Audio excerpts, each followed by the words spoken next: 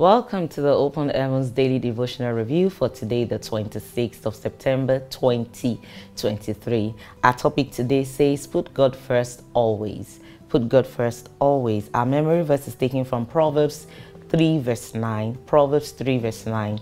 And it says, Honor the Lord with thy substance and with the first fruit of all thine increase. I'll take that again. Honor the Lord with thy substance and with the first fruit of all thine increase.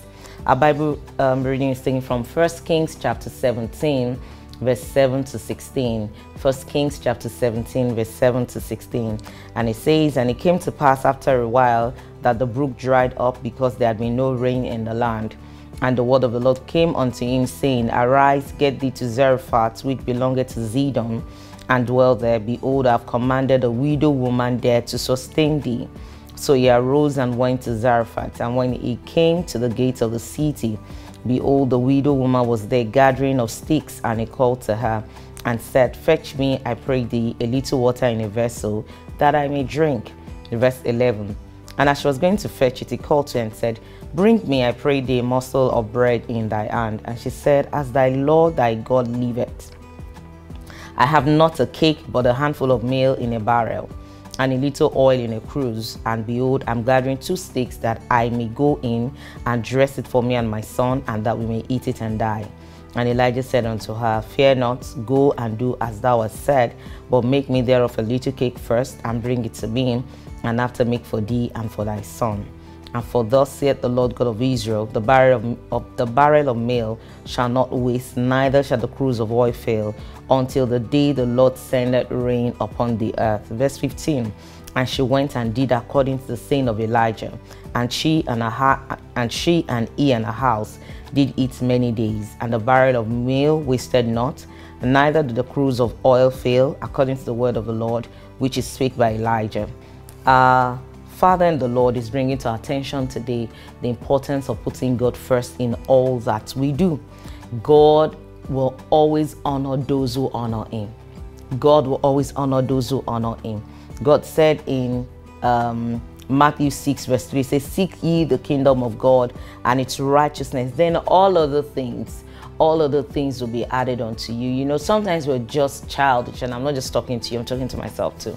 We're childish in our approach to God. We act like our children. You know, sometimes you give your child a small candy or a small piece of meat, and you say, Oh, Junior, can you share some with me? Princess, can you give me some? And then they hold back, forgetting that the entire thing actually came from you. Like, you have a box of goodies, you have a pot full of chicken soup, you have a tray filled with chicken, um, barbecue chicken and forget. So that's how we act sometimes. We act like we placed ourselves here on earth, we keep ourselves, we provide for ourselves, and we feel like it is by our strength that, you know, we are able to do all the things that we do. No, put God first. No matter what He demands of you, always put God first. And we see that in the story we just heard read in 1 Kings chapter 17. I mean, it's one of the most powerful faith stories in the Bible. I salute the widow of Zarephath. I want to meet her when I get to heaven. How did she obey such uh, instruction?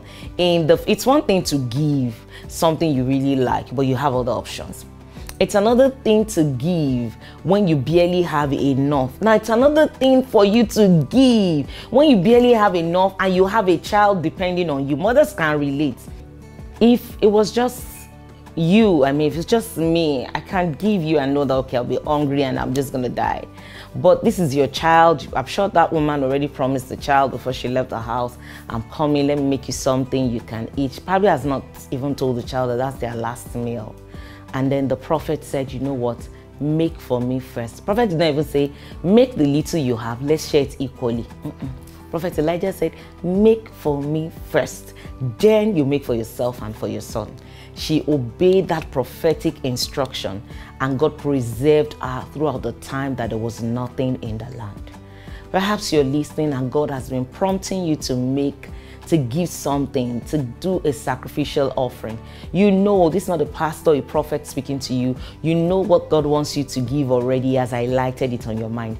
This is the confirmation you have been waiting for. Go and give it because abundance is waiting for you.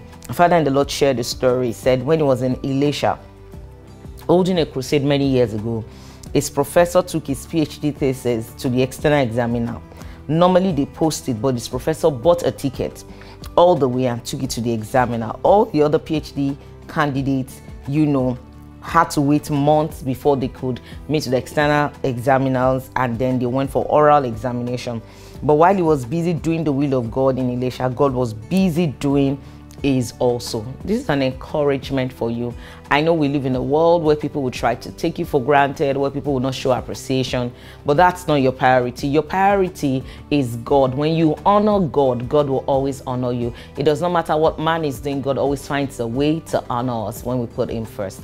And our key point today says, always put God first. I hope that this word has encouraged you and strengthened you. If it has blessed you, please remember to share with your friends and family. Thank you so much for joining us. God bless you.